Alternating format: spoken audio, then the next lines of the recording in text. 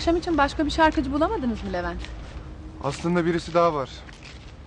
Ama çağırmakta tereddüt ediyorum komutanım. Tereddüt mü? O neden? Erkek diye mi mesela? Komutanım sanattan bahsediyoruz. Sanatta cinsiyet ayrımı olmaz. Ve askerlikte de. Ve askerlikte de. Ya aslında uzun zamandır konser vermek istiyor. Yüzbaşım.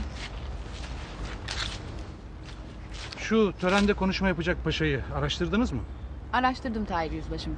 Alayımızda daha önce görev yapmış, yaşayan en rütbeli, en kıdemli emekli subay. Alayımızda albayken generalliğe terfi etmiş. Yani talimatlara uygun. Peki başka bir şey araştırmadınız mı? Kimdir, nedir, ne durumdadır?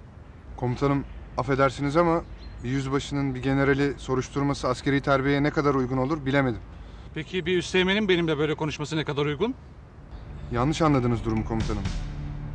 Durumdan deniz yüzbaşı sorumlu olduğu için komutanım derken ben konuyu kendisine arz etmiştim. Yüzbaşım.